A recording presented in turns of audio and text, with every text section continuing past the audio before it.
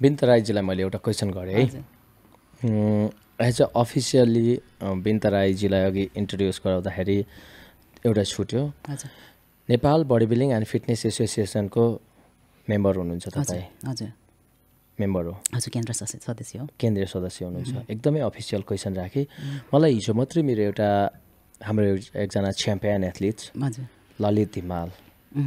मलाई लगभग म ललितसँग एकदम नजिक छु। र म नेपालको हरेक बडी बिल्डिङसँग एकदमै नजिक छु। हजुर हजुर। ललितले मलाई एउटा क्वेसन राख्नुभएको थियो। मैले म एन्सर लेस भएँ तर उहाँले म म मलाई एउटा एक्सपेक्ट गर्नुहुन्छ। र तपाईँ एउटा as a board member official question तपाईँलाई राख्छु। सायद तपाईँले माथिल्लो निकाय र बडी बिल्डिङ फिटनेस एसोसिएसन राष्ट्रिय खेलकुद परिषद सक्नुहुन्छ भने मन्त्रालय खेलकुद तथा युवा मन्त्रालयमै यो म्यासेज चाहिँ ललितको तर्फबाट इन्टायर नेपाली बडी बिल्डिङको तर्फबाट। हजुर। तपाईँ एथलिट हो नि त। आइएफबिबी प्रो भनेर हामी प्रो मात्रै भन्दैनौँ कि हाम्रो पनि त इच्छा हुन्छ नि। म उहाँको क्वेसन सिधा राख्छु। हजुर हुन्छ भन्नुहोस्। ललित धिमाल एसियन च्याम्पियनमा मेडल लिएर आउनुभयो। हजुर। अर्को एउटा कुन गेम छ? साउथ एसियनमा गोल्ड मेडल लिएर आउनुभयो र एसियन नेपाललाई एउटा गोल्ड मेडल दिनुभयो साउथ एसियनमा। हामीले वार्मली वेलकम एयरपोर्टबाटै गऱ्यौँ। तपाईँ पनि हुनुहुन्थ्यो। सँगै एसियन च्याम्पियनसिपमा सिल्भर मेडल हजुर हजुर। मेडल काउन्ट नगरौँ। उहाँ अलरेडी च्याम्पियन हुनुहुन्छ। र राष्ट्रिय खेलकुद परिषद सदस्य सचिवज्यूलाई हामीले अन बोर्ड क्वेसन राखेका थियौँ।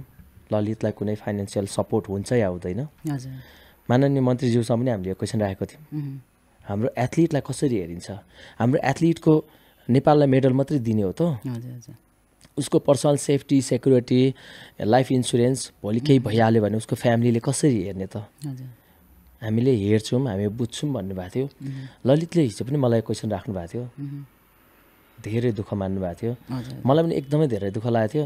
आज मैले आइएफपिबी राई विनेता प्रो मेरो गेस्ट नाम सबै सँगै होइन एकदम आवश्यक कुरा। हजुर हजुर सँगै तपाईँ member of board member of. Nepal body building and fitness federation. हामी आशा गर्छौँ यो चाहिँ सबै खेलाडीको एउटा आशाको क्वेसन हो। यसलाई तपाईँले एउटा फाइनेन्सियली पनि सपोर्ट होस् भन्ने हाम्रो फाइनेन्सियली मात्रै नभएर के होस् भने एउटा सिस्टम होस् न। आशामा मात्रै खेलाडी कतिन्जेल बाँच्ने। सिस्टम मेकिङमा तपाईँहरू हुनुहुन्छ। उहुँ, के छ यसमा चाहिँ? थोरै म कुरा अगाडि बढाइहालेँ। हजुर। ठिक छ ठिक छ। मैले अघिदेखि त्यही भनेको किनभने स्टिल पनि मैले जे देखिरहेको छु त्यही कुराले हामी एज अ बडी बिल्डिङ फिल्डमा अथवा म त अब बडी बिल्डिङको मात्रै कुरा गर्न सक्छु होइन। अहिलेसम्मको जे देखिरहेको छु त्यो कुराहरू नै भन्दाखेरि चाहिँ मैले त्यो त्यस्तो एक्सपेक्टेसन राखेर चाहिँ आउनुहुन्छ भनेर चाहिँ तपाईँ चुक्नुहुन्छ भनौँ न त्यो सानुमन गर्ने अनि त्यो एक्सपेक्टेसन राखेर एक्सपेक्टेसन मिट नभइसकेपछि दुःख त लाग्छ। डिमोटिभेट डिमोटिभेटेड हुन्छ दुःख लाग्छ होइन? आजसम्मको नेपालको सिनारियो त्यही छ। मैले अघि त्यही कुरा नै खास भन्नु खोजेको होइन? अनि अहिले अब बडी बिल्डिङ अब रिसेन्टली मर्ज भएर फर्म भएको छ भनौँ होइन? धेर भएको छैन यो कुराहरू एक दुईचोटि आएको पनि छ। अनि हामीले यो कुरा उठाएको पनि छौँ होइन? होपफुली अब किनभने अब म डेफिनेटली फेरि पनि यो कुरा राखौँला होइन। हामी आशा हजुर हजुर। यो कुरा राखौँला हामी बोर्ड मिटिङ हुँदाखेरि। तर सायद उहाँहरूले पनि अहिले चाहिँ अलिकति क्लिक भएर यसलाई अलिकति सिरियसली लिनुभएको छ कि होइन। अब सिन्स एउटा महासङ्घ क्रिएट गरेको छ नि त अहिले त सधैँ चाहिँ अब हाम्रो तपाईँलाई थाहा छ दुइटा सङ्घ थियो होइन।